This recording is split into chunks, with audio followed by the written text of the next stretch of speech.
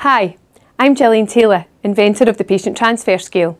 In this video, I'm going to demonstrate how to use the Patient Transfer Scale to get an accurate weight for an immobile patient. The Patient Transfer Scale is a transfer slide with an inbuilt weighing scale, which means you get an accurate weight reading during the transfer process.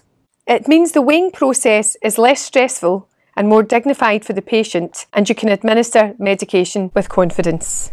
It's Class 3 approved and MDD approved. It's powered by an internal rechargeable battery and is supplied with hooks so you can wall mount the scale for when it's being charged. It has a large clear weight display and there is a hold feature which stabilises the weight reading, making it even easier to get the patient's weight.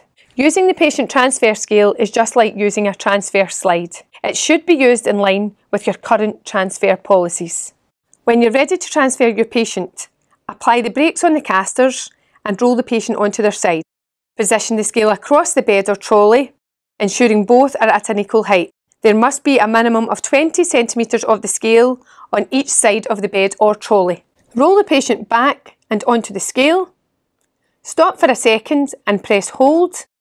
Allow the scale to display and hold the patient's weight. You can then slide the patient off the scale and you now have an accurate weight reading for your patient. For more information, visit patienttransferscale.com.